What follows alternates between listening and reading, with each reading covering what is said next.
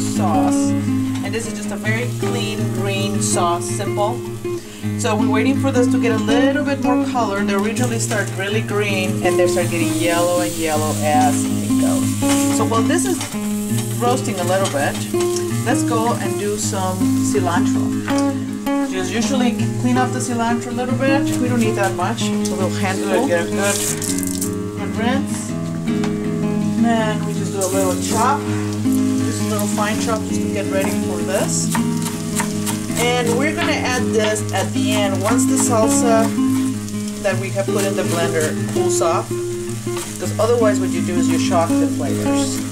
So when you add cold ingredients to a hot hot uh, sauce, you, so you let's get this guy's done. Let's put them in the blender.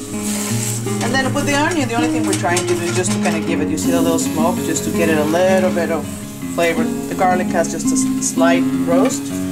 So usually I do 10 to 12, 12 to 12 tomatillos. And then with the serrano, what I do is I'll just take the ends off. Uh, they go in with everything.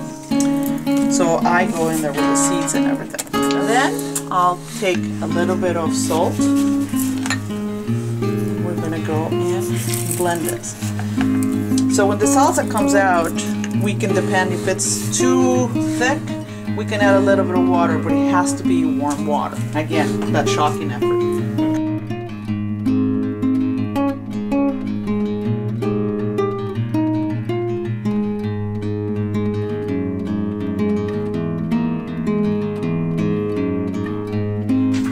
Once the sauce is done and it's cooled off a little bit, what we do is we just add the cilantro